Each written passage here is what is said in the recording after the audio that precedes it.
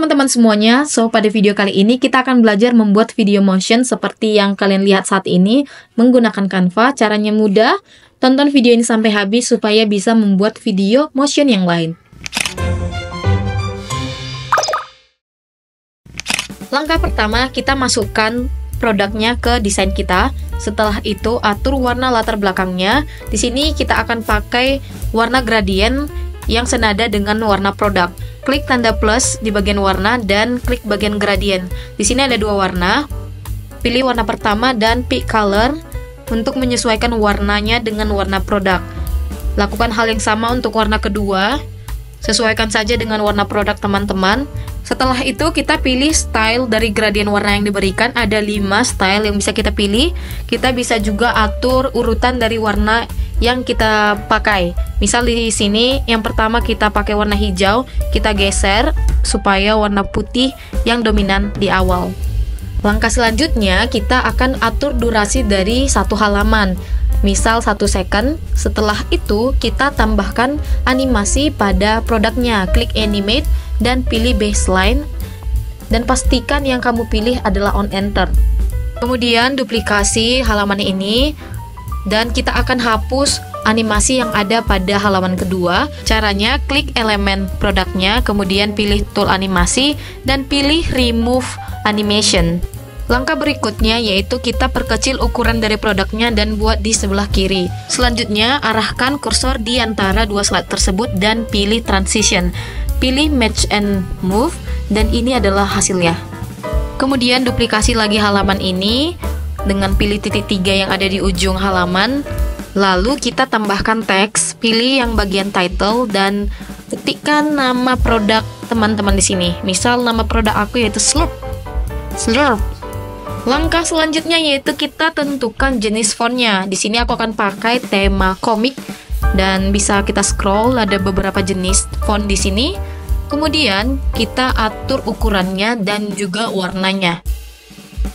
Untuk mengatur warnanya, kita bisa pakai warna yang sesuai dengan warna produk dengan cara yang sama seperti sebelumnya. Kita pakai peak color. Kemudian kita tambahkan efek pada tulisannya. Ada banyak style yang diberikan. Tinggal teman-teman sesuaikan dengan kreativitas teman-teman. Oke, okay, setelah teksnya udah oke, okay, selanjutnya kita akan tambahkan animasi pada teks ini. Kita bisa pilih yang bagian burst dan pastikan memilih yang on enter, not bot or not on exit ya. Karena kita hanya butuh di awal saja guys animasinya. Duplikasi halaman terakhir dan kita akan tambahkan teks baru di halaman terakhir ini. Namun sebelumnya kita akan nonaktifkan dulu animasi yang ada pada halaman ini. Tambahkan heading atau teks baru, kemudian atur ukuran dan juga posisinya. Sesuaikan jenis font dan juga efek dari teksnya. Langkah berikutnya kita akan duplikat lagi halaman terakhir dan untuk halaman yang diduplikat tadi pastikan semua animasinya sudah nonaktif atau remove animation terlebih dahulu. Lalu kita akan duplikat elemen produknya, kita bisa pindahkan. Intinya jangan menimpa. Selanjutnya kita bisa cari elemen-elemen dari ingredients produk kita. Misal di sini aku akan tambahkan lemon, kemudian ada mentimun dan juga daun mint. Atur ukuran elemennya menjadi kecil dan posisikan di depan dari elemen produk kita. Lakukan hal yang sama untuk mentimun dan juga daun mint.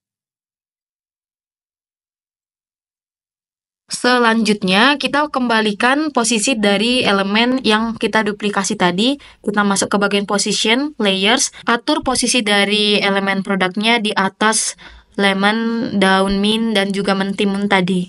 Duplikasi lagi halamannya, kemudian kita akan geser elemen produknya untuk memunculkan bahan-bahan yang tadi. Kemudian kita akan tarik yang pertama lemon ke bagian luar dari produk, Tambahkan transisi match and move di antara dua halaman terakhir tersebut. Kemudian duplikasi halaman terakhir. Jadi memang tutorial ini kita hanya fokus di duplikasi dan juga atur transisinya. Di sini kita akan atur ukuran dan posisi dari elemennya yang berbeda dengan yang sebelumnya. Kemudian kita tambahkan elemen down min Kita atur juga posisi dan ukurannya. Kemudian tambahkan transisi match and move. Oke, setelah itu kita kembali duplicate halaman ini. Kita lakukan hal yang sama seperti sebelumnya. Kita akan geser dan atur ukuran setiap elemen. Di sini aku akan taruh bagian lemonnya di bawah, sedangkan yang downmin aku akan taruh di tengah di posisi lemon sebelumnya dan untuk down minnya kita akan keluarkan dan kita posisikan di tempat down min sebelumnya kita tambahkan transisi match and move lagi dan ini dia hasilnya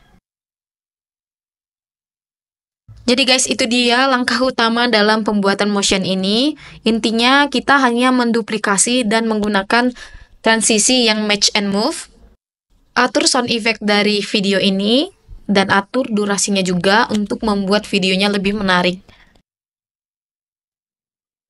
Selanjutnya kita akan tambahkan teks untuk setiap bahan-bahan yang dipakai. Atur juga durasinya buat lebih panjang, misal di sini 2 second dan kita akan tambahkan teksnya. Di sini aku akan tambahkan uh, title, misal di sini ada lemon, kita tinggal tambahkan teks dan atur style dari teksnya. Teman-teman bisa tambahkan animasi pada teksnya untuk membuatnya lebih menarik.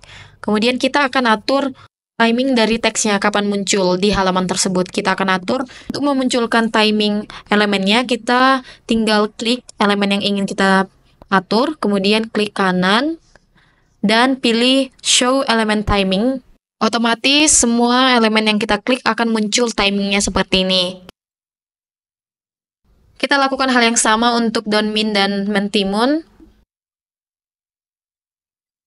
Setelah semua teksnya selesai, selanjutnya kita akan buat di halaman baru, blok semuanya, dan geser ke bagian tengah. Pastikan menggunakan transisi match and move supaya hasilnya seperti ini. Duplicate lagi halaman terakhir, kemudian kita akan blok semua elemennya dan pilih group.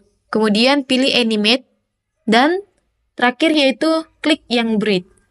Kita bisa pilih dia uh, animasinya masuk atau keluar. Untuk ini aku akan pilih yang keluar.